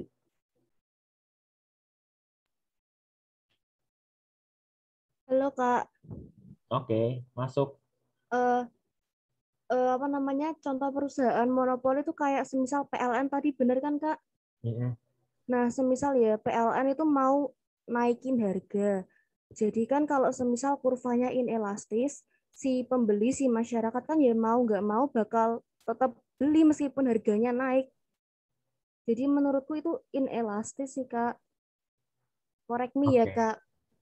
Gue juga correct me guys, gue juga nggak bisa benar banget. Oke, oke, berarti nomor 12 ini bening kita keep dulu ya kali, teman-teman. Nanti kalau ada waktu kita bahas di Discord, bisa kok buat apa. Oke, kita keep dulu. Nanti kalian kita bedah lah pasar-pasarnya. Oke. Disclaimer lagi teman-teman, gue juga nggak bilang bahwa opini gue ini salah atau opini gue wajib benar gitu ya. Tapi gue berusaha gimana gue mencoba apa yang gue utarakan dengan alasan gue gitu. Oke, kita lanjut nomor 13. Yang merupakan ragam kebijakan proteksi perdagangan internasional adalah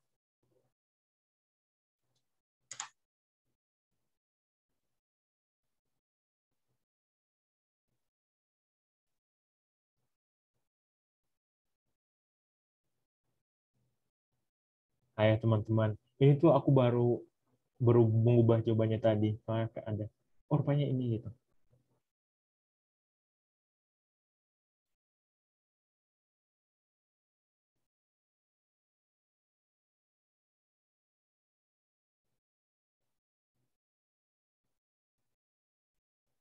Gimana pada jawab iya? Kalau E itu jawaban semua benar ya?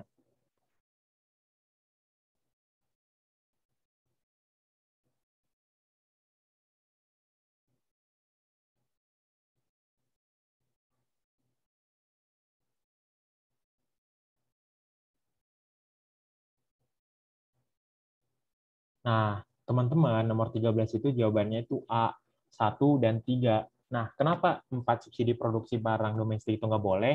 Aku tadi baru baca di internet, kalau ini tuh nggak dibolehin sama kayak organisasi internasional di bidang perdagangan gitu. Jadi, si eh, simpelnya aku bilang, kalau subsidi barang domestik ini nggak dibolehin, karena tuh kayak nggak nggak fair gitu kan. Karena ya beda lagi, balik lagi ke subsidi sama pajak itu nggak semua negara punya kekuatan yang sama. Jadi kalau perdagangan internasional, kebijakan proteksinya itu kalau produksi barang subsidi itu bukan masuk kebijakan perdagangan internasional. Gitu. Aku tadi baru baca juga di internet. Nah, ini tuh contoh-contohnya aku dapat di internet beberapa eh, kebijakan proteksi perdagangan internasional. Yang pertama dia tarif, kuota impor, pembatasan administratif, undang-undang anti dumping apa nih anti dumping dia menjual harga itu lebih murah di negara lain dibanding negaranya dia sendiri beberapa perusahaan Cina ketahuan ngelakuin dumping itu sering banget nah subsidi langsung subsidi ekspor bukan subsidi barang domestik ya teman-teman manipulasi nilai tukar sistem paten internasional hak paten batasan imigrasi berbagai pekerjaan, misalnya syarat sertifikasi tenaga kerja atau kuota visa kerja gitu kan. Kampanye politik yang mendorong konsumsi produk dalam negeri. Kalau kampanye produk politik bukan sebuah subsidi ya teman-teman. Seperti ini contohnya kayak kampanye 100% Indonesia gitu atau Buy American. Ini proteksionisme di luar hukum. Lalu selanjutnya belanja pemerintah preferensial misalnya Buy American Act UU federal yang meminta pemerintah Amerika Serikat mengutamakan pembelian produk-produk buatan AS. Kebijakan tarif itu gini, ini kan internasional, berarti ekspor impor. Dia dikenakan tarif kalau masuk ke barang ini, misalnya Amerika mau ngasih barang ke Indonesia, ada tarif yang dikenakan, gitu teman-teman. Gimana Gilang?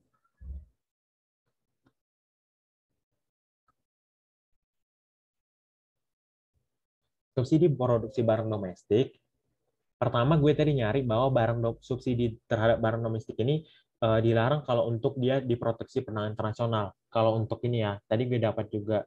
Nah, kenapa? Karena pertama subsidi ini kan lain lagi ya, itu udah udah bahasan lain, bukan perdagangan internasional lagi gitu teman-teman. tarif itu pajak itu Kak, eh, bisa sama bea cukai juga sih bisa.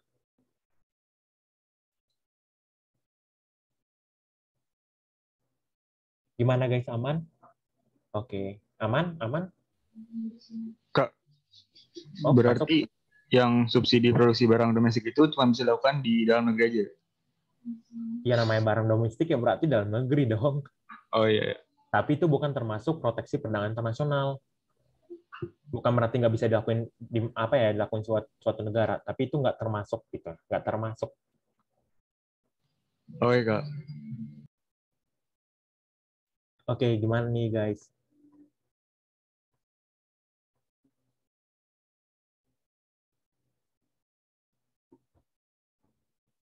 Aman, aman. Kita lanjut lagi.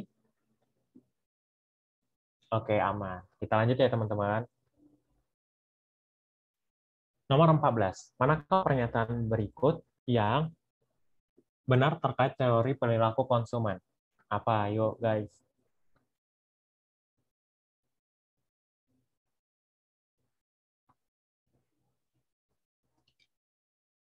Oke, A.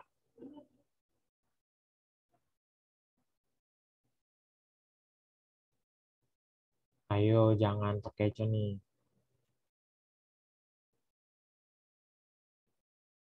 Berarti kalau B itu 1-3 ya, guys. Udah mulai lupa, guys. Oke. Oke, kita bahas, kita bahas.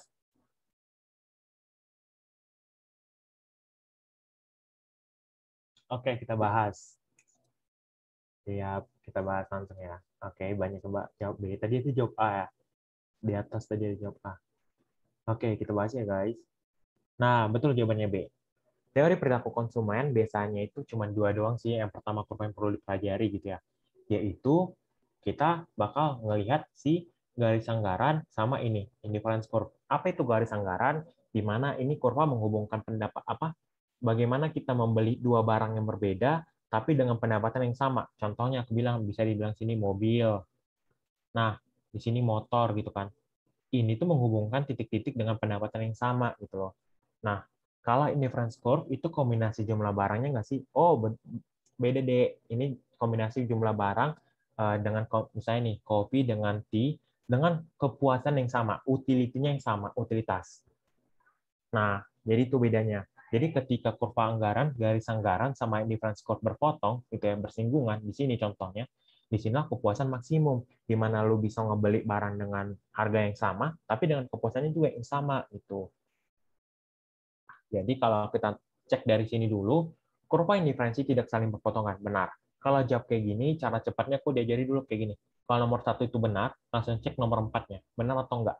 Kalau nomor empat, konsumen mencapai ke maksimum kepuasannya ketika kurva indiferensi berada di atas garis anggaran. Bukan di atas, tapi pas, tepat gitu. Kalau ini salah, berarti nggak mungkin jawabannya 1, 2, 3, 4 kan? Eh, nggak mungkin. Berarti cek dulu, 2 atau 3 kan? Kalau 1, 2, 3 A, kalau 1, 3 B. Berarti kalau kita cek dia nomor 3, jika kita ingin meningkatkan jumlah konsumsi barang X, konsumsi harus konsumen harus mengurangi jumlah konsumsi barang Y. Betul. Baru tinggal cek nomor 2. Kurva indiferensi itu menggambarkan titik-titik kombinasi harga barang dan jumlah barang yang ingin dikonsumsi. Kurang tepat, harus ada dengan kepuasan yang sama. Singgungan ya Kak, kalau senang. Iya, singgungan. Jadi titik singgungnya itu. Jadi gitu teman-teman. Dari sini, si perpotongan si P, eh, garis anggaran dengan sini, gitu kan, dia masuk lagi ke si PCC sama si ICC. Nah, kalau si PCC ini price, eh, price apa sih? lupa deh tapi price price gitu nah kalau price ini dia kayak gini kurvanya itu dengan perubahan satu harga doang. Nah kalau diturunin itu nanti jadi uh, kurva jelek banget ya kurvanya. Aduh jelek banget. Teman-teman udah pada belajar PCC ICC nggak? Atau belum? Iya price consumption curve. Nah kalau dia PCC itu kan gini ya. Di mana kurvanya ini perubahan harga satu harga doang gitu kan. Kalau ada perubahan harga berarti kalau ada perubahan tapi di cuma satu harga doang, berarti dia berotasi. Contohnya ini, gini ya, aku jelasin ah, bentar nih. Kayaknya karena ada masih kurang paham, aku ulang dari awal. Kita mulai dari kurva budget line, BL. Bentuknya gimana gini? Iya, betul Poki. Ini ini contoh BL ya, budget line. Kurva di mana kombinasi dua barang dengan uh, anggaran yang sama. Contohnya, aku mau beli di sini uh, kopi, di sini mau beli teh. Inilah garis ini, inilah kombinasi dengan barang yang sama, eh dengan anggaran yang sama. Jadi kalau misalnya harga kopinya naik gitu loh, berarti kita membeli kopinya kan makin sedikit ya. Nah, dia bergeserlah seperti ini. Tapi si T-nya ini kan tetap karena nggak ada perubahan harganya gitu loh. Nah, kalau si K-nya kalau si T-nya yang naik, bergeserlah nanti dia berotasi gitu kan. Tapi kalau dia pendapatannya menurun atau meningkat, nanti dia kayak gini bergeser. Ini kalau pendapatannya menurun, karena kalau pendapatan menurun mau nggak mau dua-duanya bakal dikurangi. Kalau pendapatan meningkat bakal kayak gini. Nah, begitu juga juga dengan si indifference curve. Kalau dia PCC, price consumption curve, ingat aja dari sini harga gitu kan. Berarti yang dilihat di sini ada harga salah satu barang yang berkurang atau berkurang bisa asumsinya di buku. Nah, gini. Ini kan harga salah satu barangnya berkurang kan. Nah, ini titik apanya, titik kepuasannya, titik kepuasannya, titik kepuasannya gitu. Ini nanti bakal diturunin teman-teman. Ini titik-titik ini, titik-titik ini, titik-titik ini bakal diturunin, bakal diturunin kayak gini.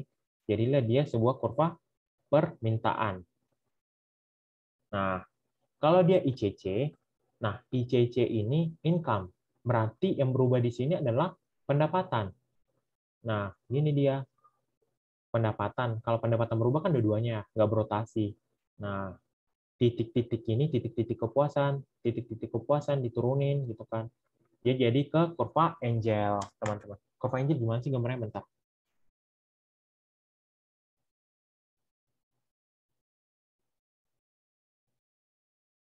terbalik.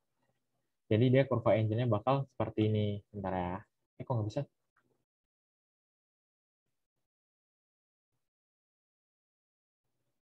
Seperti ini guys. Kurva angel itu apa? Itulah hubungan antara si pendapatan kita dengan si permintaan barang.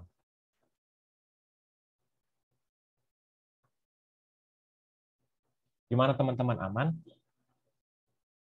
Jadi ingat kalau si ICC itu dia di income. Iya, kalau diturunkan jadi si angel, kalau si PCC ingat aja harga, karena harga itu pasti berpengaruh dengan permintaan banget kan. Udah, dia bakal turun ke demand.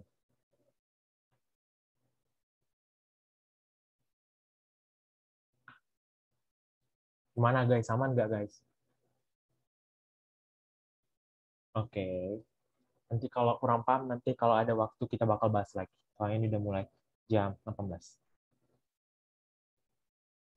Pak bisa di B, teman-teman. Oke, soal terakhir. Manakah pernyataan yang salah mengenai ciri pasar persaingan sempurna?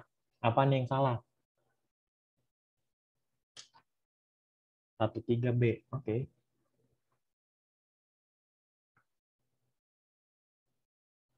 Berarti B13 ya?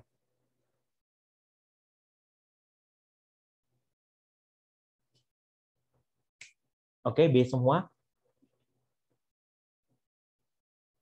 Oke, kita bahas ya teman-teman.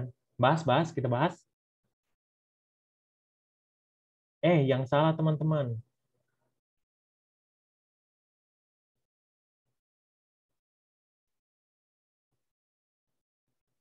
Oke, bahas. Kita bahas ya. Manakah pernyataan yang salah mengenai ciri pasar persaingan sempurna? Penjual memiliki kekuatan untuk menentukan harga. Ini salah. Kenapa? Kalau penjual di PPS dia sebagai price taker, si pengikut harga gitu. Baik penjual maupun pembeli memiliki pengetahuan sempurna tentang keadaan pasar. Yap, betul banget, tapi nggak termasuk di sini ya teman-teman. Tiga, barang tersebut terdiferensiasi, uh, dibedakan gitu kan. Di sini salah. Kalau di PPS berarti dia itu harus mono apa homogen gitu. Nah, kalau dia contohnya terdiferensiasi, itulah masuk ke pasar monopolistik. Dalam jangka panjang, produsen hanya memperoleh laba normal. Ini betul. Jadi jawabannya adalah B13. Ye, betul guys. Tapi aku jawab 13 nggak ya? Eh, aku jawab C. Berarti aku kurang lihat uh, pernyataan yang salah. Skip aja tuh. sorry sorry guys. Eh, berarti kalau PPS itu seluruh barang yang dijual itu sama semua ya kak? Iya sama homogen, nggak ada diferensiasi. Jadi gue baca sebenarnya kalau pasar persaingan sempurna itu itu tuh kejadian ekstrim dari sebuah pasar. Karena lihat aja deh, ada nggak pasar yang fix memang barang itu homogen gitu, sama gitu. Paling-paling kan ada diferensiasi kok gitu kan. Perbedaan sedikit aja itu udah termasuk diferensiasi gitu kan. Jadi yang gue baca dulu di internet, kalau sebenarnya pasar persaingan sempurna ini itu tuh sebenarnya kejadian ekstrim gitu, jarang terjadi gitu. Apalagi dengan kekuatan yang sama gitu ya. Sekarang mah pasar udah banyak berlomba-lomba buat strategi, ada yang buat nimbun lah, ada yang apa gitu kan. Gimana guys nomor 15? Aman? Soalnya 15 doang sih. Ini maaf salah ini, ini B. Oh ya, thank you.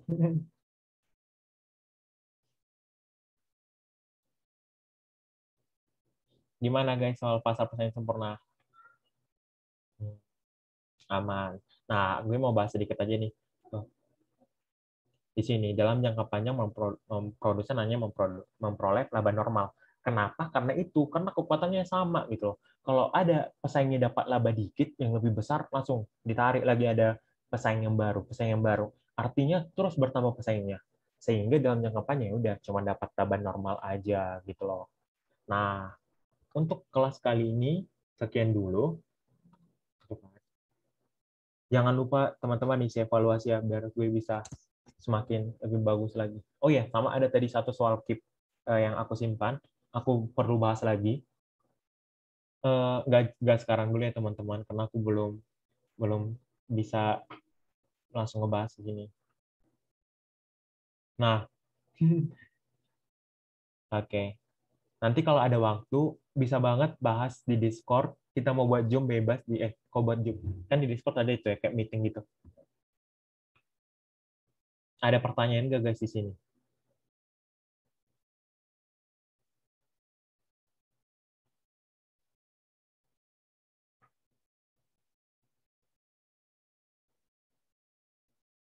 Oh, nomor nomor 5 juga banget ya. Oke. Okay.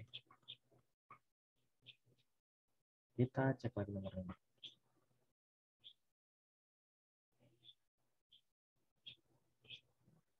Kak, sorry ya nomor 5 berarti untuk perusahaan tersebut mencapai mencapai laba minimal dia harus mencapai BEP itu dan BEP itu opsinya E. Oh enggak, kalau BEP itu opsinya yang B ini TR sama TC. Kalau MR sama MC ini itu udah laba maksimum bukan BEP lagi. Gitu ya, Poki. Oke, ada pertanyaan lagi guys? Oh, gue stop share aja kali. Intinya semangat ya guys. Oke. Okay. Uh, untuk menutup kelas kali ini, uh, paling kita dokumentasi dulu sih. Ayo ada yang mau dokumentasi nggak? Uh, kelas Eko kapan lagi? Uh, gue saya minggu depan juga tetap kelas Eko ya. Kalau mau apa, bisa kok di apa di Discord kita bahas-bahas gitu. Teman-teman juga kan udah pada free juga. Ayo guys, kita dokumentasi dulu kali. Ada yang mau nggak nih on cam? Di share kok di share tenang guys. Ayo atau nggak mau on cam ya sedih banget. Kasihan gue guys sendiri. Ayo ayo nanti kalau nggak on cam bersinar nggak jalan lo serius. Uh, secepatnya minggu depan. Mau kapan pun bisa kok. Sebenarnya kan udah ada grupnya on cam dulu makanya nanti gue nggak buat kelas Eko kalau nggak on cam. Saya kapan ya? Uh, secep bakal ada, tenang aja ya. Pantengin aja di Discord tuh di info kelas bakal ada kok. Nggak mungkin ditinggalin. Ya, nggak ada yang mau on cam ya. Sedih banget sih.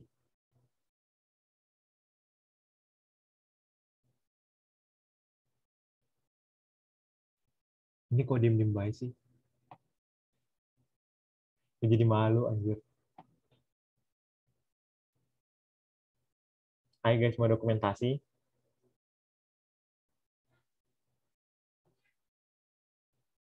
Kara itu pimpinan bersinar guys Oke, kalau nggak mau kan nggak apa-apa kok. Uh, sekian dari gue, gue cuma pengen tetap semangat ya, semoga bisa masuk karena ini semua UI, semoga bisa UI, masuk UI, guys. penerus-penerus bangsa keren-keren banget. Dan nanti soal yang apa? Yang tadi yang gue yang masih ragu-ragu, gue bakal bahas secepatnya di Discord. Kalau nggak ada kalau ada pertanyaan bisa bahas di Discord ya teman-teman. Oke, terima kasih teman-teman. Makasih banyak guys. Maaf kalau aku banyak salah ya teman-teman dan masih banyak kekurangan.